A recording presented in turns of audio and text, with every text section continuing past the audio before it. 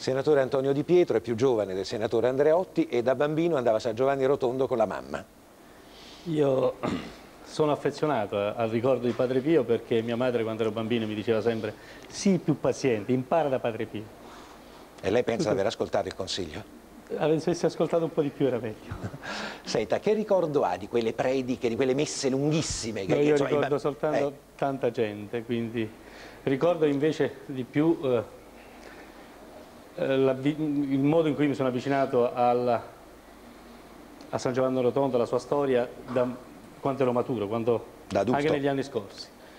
Nei momenti del bisogno c'è bene eh, riflettere un po' sulla sua storia, sul suo essere personaggio scomodo e sulla sua pazienza. Ci aiuti tutti ad essere un po' più umili.